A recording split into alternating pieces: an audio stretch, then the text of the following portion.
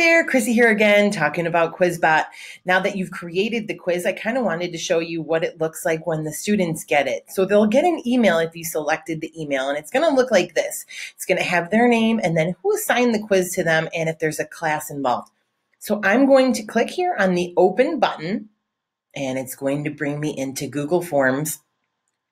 And then I'm just going to go ahead and click on the assignment that I want one more time here and it is going to pull up the quiz for me. It's going to ask me to type in my email address and it's going to start auto populating for me. So I'm going to go ahead and click there.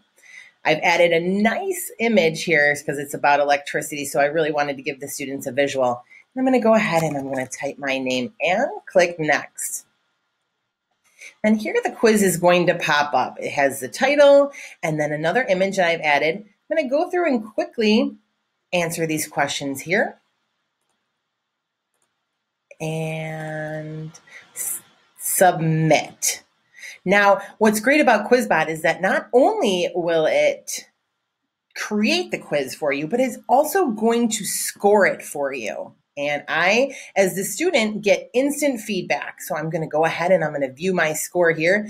As you can see, it has the total up in here. I didn't do very good, but you know what? Just room for improvement and more practice.